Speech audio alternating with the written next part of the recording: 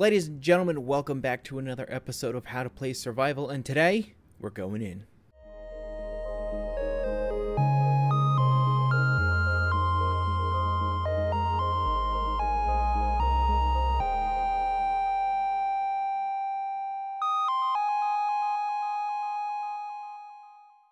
That's right, today we are entering this bastion. We are going to go get those presents. We are doing this. I'm terrified. Are you terrified? You should be. so we're going to go over a couple of things with bastions before we go in there. I'm not stalling. You're stalling. Um, and, and those things are essentially the difference between piglins and piglin brutes, right? Now, real quick, bastions are castle-like structures that generate in four random parts uh, there are bridges and Hoglin stables, housing units, and treasure rooms. Now, we've seen the treasure rooms before. Uh, these things here, I believe, are treasure rooms, or the treasure rooms are the ones with the gold blocks, I believe. We'll, we'll get there, don't worry. Uh, treasure rooms are where all the good loot is, but uh, yeah, we'll, we'll get to that once we actually get in. Real quick, I'm going to go over these piglin guys here. Now, we've gone over this before. Piglins are uh, passive to you, the player, as long as you're wearing gold armor, right? We've got our gold little booties on. Uh, so these guys, if we get close to them, aren't going to be angry with us. But if we were to hurt one of these piglins, all the piglins in this bastion that are within, I believe it's around 16 blocks from the piglin's little feet, uh, will get angry with us and they'll come out after us and they'll they'll try to hurt us. It's not a fun time, right? Uh, we can stop them as they're running towards us by offering them gold. So if we had gold in our pockets, which I don't, we could just right click on a piglin running towards us, offer them some gold, and then they won't be as angry with us. Now, I've actually gone out and I've got some of our gold because uh, this is going to happen. They are going to get ticked off at us, so I would like to try this at some point. Nice thing about it is it is actually an advancement. So if you tick off a piglin and they're running at you and you right click on them, and they stop and they look at this gold ingot, uh, you get an advancement for that. It's pretty neat. Now, other ways to aggravate piglins is to open a chest while they are within uh, 15 blocks of you, 15 blocks of your feet, that is. Uh, they will get lightly aggravated. If you attack a piglin or a piglin brute, uh, whether or not you hit, um, excuse me, kill it in the first shot or the first hit, all the piglins within 16 blocks of the thing you attacked are going to get angry. And here's the big one.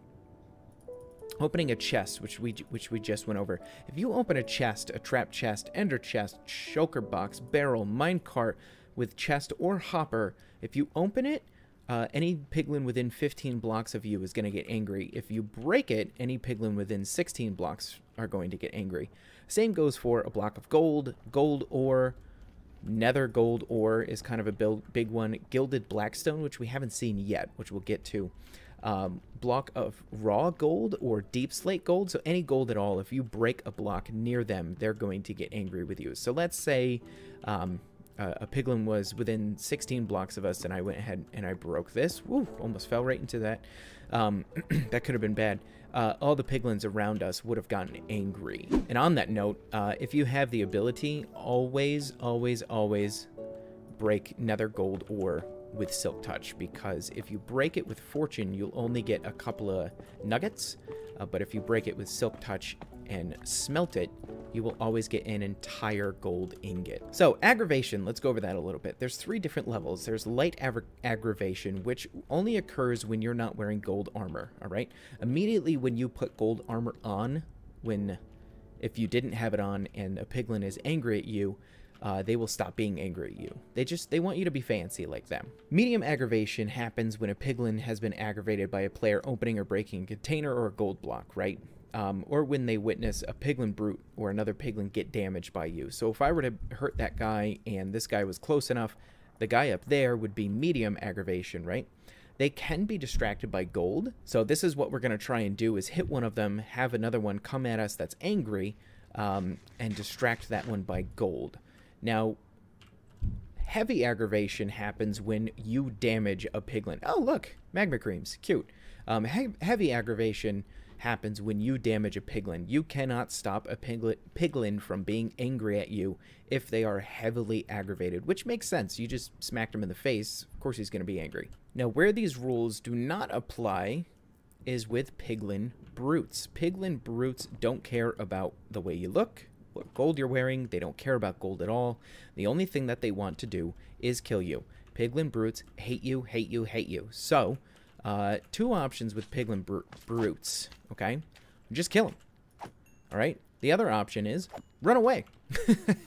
they are that terrible. Um, Piglin Brutes are just awful, awful creatures. They are the strongest hitting creature in the game besides iron golems. So they hit like absolute massive trucks. They're mean. A bastion is very tight quarters, okay? So if we were to come in here, there's a lot of, a lot of twists, a lot of turns. Um, there's a lot of places that you can get stuck.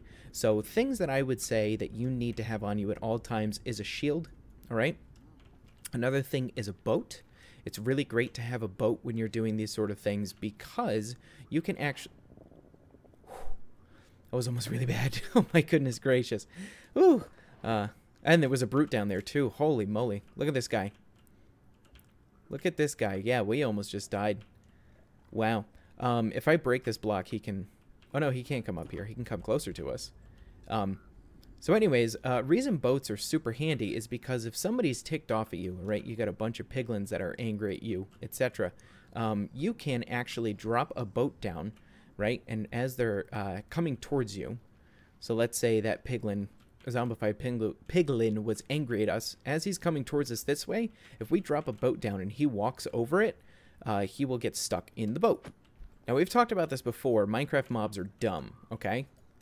Uh, so they, they actually don't know, many of them don't know how to open doors. Uh, piglins do. They do know how to open doors, so be wary about that. Um, none of them know how to get out of a boat. So they can just get themselves trapped in a boat and they'll never be able to get out. It's actually kind of funny.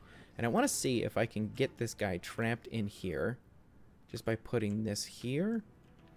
No, it doesn't look like I can. So I would absolutely love to kill this brute uh, the problem is every single piglin that's in the area uh, within about 16 blocks of that guy is going to be really angry with us. So what we can try to do here is see if he comes up here. We can try and... See, and now they're all angry. And I don't want to hit that... Oh, ouch! And this is why you have a shield because I did not see that guy behind me. Well, I think we're going to stop being babies about this. We're actually going to just go ahead and open up these chests and see what we get. War pigs, look at that.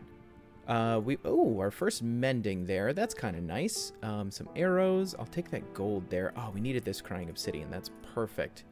Uh, gilded blacks. Hey, ancient debris too? That's awesome. That's absolutely awesome. Actually, uh, why don't we take all of this? We're relatively close to uh, our little base here. So we'll take all of that. Um, I'm going to go ahead and open this one as well. Ooh, soul speed too. That's pretty nice. Perfect. And now that we've nicked all that loot, I'm going to go ahead and just run back to our little hidey hole and put all this away. well, we got a bunch of great stuff from that, and the biggest thing that I'm excited about is Ancient Debris. Now, Ancient Debris is a way to make our diamond tools even better, give them more, more durability, as well as the ability to not burn up in lava in case we were to die in lava, right? So we need a lot of ancient debris in order to um, upgrade everything. We'll get there one day. Today's not that day. And all this other stuff that you see up here is me actually trading with piglins. I've been doing a little bit of trading in the back end. We've got some soul speed, um, books, etc., etc. We got a bunch of leather. Uh, soul speed, what happens is you remember the soul sand that we have. If you are to use soul speed to run over soul sand, you actually go super duper duper fast, which is super great. All right, the last thing before we jump right into this here, I'm going to go ahead and make ourselves a respawn anchor. And the way you do that is six pieces of crying obsidian, uh, three on the top, three on the bottom, and then sandwich some glowstone in the middle, and we now have a respawn anchor. I'm going to go ahead and make some glowstone as well, because I'm fairly certain that's how you charge it. I'm going to go ahead and put this here. Now, what this does is uh, we are not able to set our spawn in the nether with a bed. I'm actually going to set my spawn right here in our little house. Um, which is kind of silly because I'm going to go set it in the nether, but just in case. so what we can do is just plop it down anywhere and then put up to four pieces of glowstone into it. And now when we right click on it, you see down at the bottom, our respawn point has been set. So if we were to go ahead and die in this bastion here, we will respawn. Hello, buddy. What's good? Uh, right next to that respawn anchor there. But we're done with stalling. Let's jump right into this thing. Now, some of the tactics I'm going to do, like I said before, uh, the knockback on our sword is going to help us a lot. The boats are going to help us as well, get uh, the brutes trapped. Uh, blocks on your hotbar are always a great idea uh, for when tackling these places. I'm actually going to put my axe up here. And I think we'll have some gold on the hotbar as well, just in case some piglins are there and angry at us, we can try and, and make them not as angry. Um, and then some other things, a lava bucket. Now, lava buckets are really helpful because piglins are not immune to heat. So you can catch them on fire, you can douse them in lava, and it will hurt them, which is kind of important. There are a lot of mobs in the nether that are quote-unquote fireproof uh, where this tactic won't work so you just have to be careful on which ones you do this with now a side note on piglin brutes uh, axes will do something i believe it's called shield Shield disruption, essentially like a shield break. If they hit you, uh, or they hit your shield while your shield is raised, it will make your shield not work for a little while. Now here's a little bit of treasure. What I'm actually going to do here, I'm just kind of like breaking this apart so I can see how much of it there is. I'm going to go ahead and lock myself in this little area here, so just in case some piglins get angry with us for picking this up, um, hopefully they won't be uh, too miffed about it. And I do see Piglin snorts angrily, so we are going to have some piggies that are angrier with us by the looks of it. Ooh, and here's a really big, really big treasure piece of a bastion. Now, I just want to remind everybody, bastions are usually very, very large structures, okay? Uh, they sometimes generate in a lot of different pieces, okay? So you can easily get lost in a bastion. Uh, there's also a very good chance that you won't get everything. You won't really see everything. Um, and that's just kind of the way it is, sort of. Um, you can explore around uh, something that I would suggest, and this is, uh, I think, our first introduction to quartz there. Uh, something that I would suggest is um, just pick a direction, like pick an area, and just dig. Just dig until you don't see anything and then give up in that area and then go to another area and dig like a spiral staircase down or dig up, right? Um, dig a staircase up. But uh, as you can see, there's usually a lot of, like a lot of lava involved with a bastion, okay? So you really need to be careful and be wary about where you're stepping, where you're jumping, where you're running. Um, so just wildly running around in a bastion usually isn't the, the wisest choice. Uh, unless you really know what you're doing, it's it's kind of up to you. Uh, this section here, I've kind of explored everything that I that I feel like is is readily available. I haven't gone up there yet. We can go check up there in just a minute.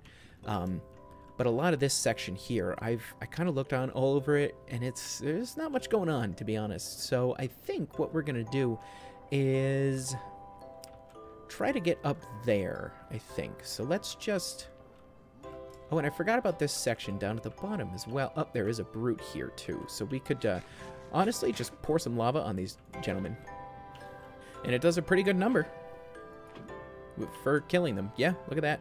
Now that didn't really lead us anywhere, so what I'm to do is kind of just break into the wall a little bit and see if it takes us anywhere. If it does, great. If it doesn't, hey, we'll turn around and we'll try again. And it appears... Whoa, Ooh, that could have been death. it appears that it brought us out to another bridge area. Now these interesting areas where it has like the, the lava curtains coming down, those are called bridges.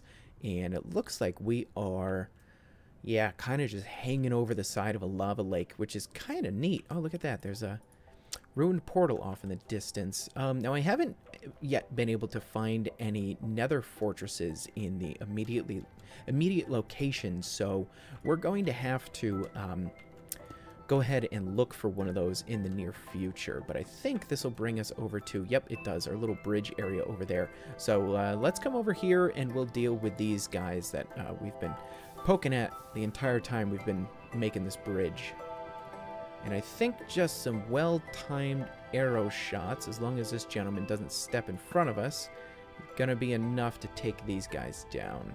One down. Let's see if we can trap the other one in the boat like I've been talking about. Unless he died from the fire. It looks like he might have, yeah.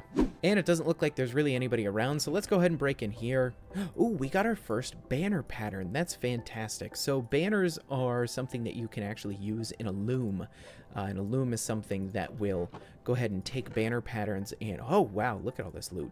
Uh, they'll take banner patterns, patterns, and we can put the pattern on a banner, which is super nice.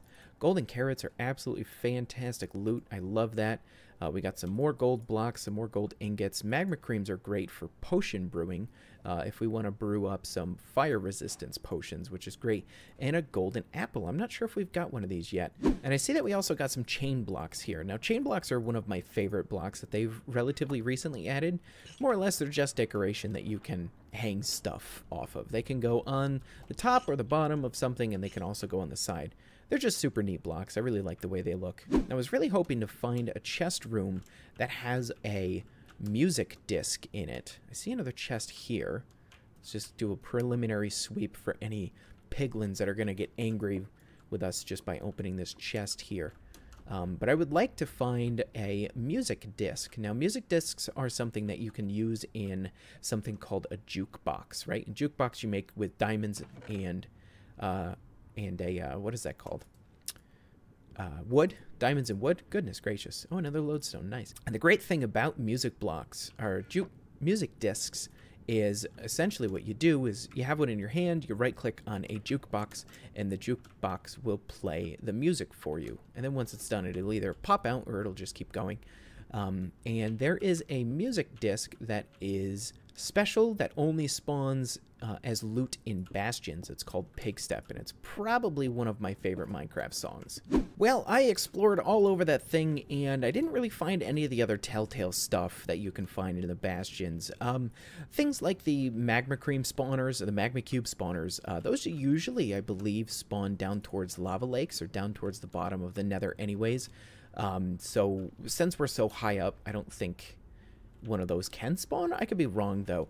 Uh, and those were the only two treasure rooms that I could find. This one here and the one on the other side. We did get a lot of gold, though. Here, let me run back over here. I'll show you what we got. We did get a lot of gold. We got a golden apple. Uh, we did get those magma creams and the banner uh, pattern. The ancient debris is going to be really nice, to be honest. We did get a mending crossbow, too. I can actually show you how mending works here in a second. But yeah, gold. We got some lodestones, uh, some soul speed books and such. I believe those might have been from bartering with, with piglins. Well, ladies and gentlemen, that is where we're going to have to stop our video for today. Thank you so much for coming on this journey with me. That was, I think my second bastion in survival Minecraft. So uh, yeah, thanks for sharing that experience with me. Uh, next episode, I think we're going to look, take a look at a lot of these uh, different nether biomes that you see behind us in search of a nether fortress. Now we need to find a fortress in order to progress in the world, uh, go feat, uh, defeat the dragon, uh, get our wings, look at the end, etc etc but any any hoozles folks uh, that will be the next episode. Thank you again for coming on this journey. Don't forget to like the video and subscribe. Go check out my twitch and my twitter and we will see you all in the next one. Goodbye